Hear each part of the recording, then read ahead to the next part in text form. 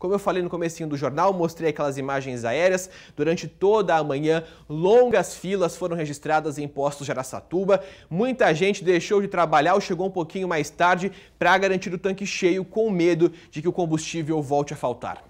Muita gente acordou bem cedo e foi logo para o posto. Neste aqui no centro da cidade, a fila passava de três quarteirões. William chegou de moto, mas com o ponteiro quase zerado. O meu patrão ligou para mim falando que o amigo dele tinha avisado que aqui tinha gasolina, então eu já vim correndo para cá para não ficar sem, né? Já seu Valdemar, de 78 anos, veio de bicicleta e trouxe o galão. O carro está parado lá na sua casa? Tá, tá na garagem. Mas mesmo assim o senhor veio garantir a gasolina? Com certeza. Neste posto que fica na zona norte de Araçatuba, o combustível chegou e acabou rapidamente.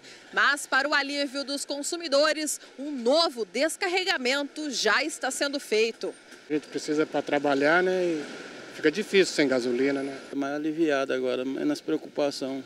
Os primeiros carregamentos de combustível começaram a chegar a Araçatuba ontem à noite, escoltados por carros da Guarda Municipal. E apesar da situação começar a voltar ao normal, as longas filas continuam. Tudo para garantir o abastecimento. Trabalho em Birigui.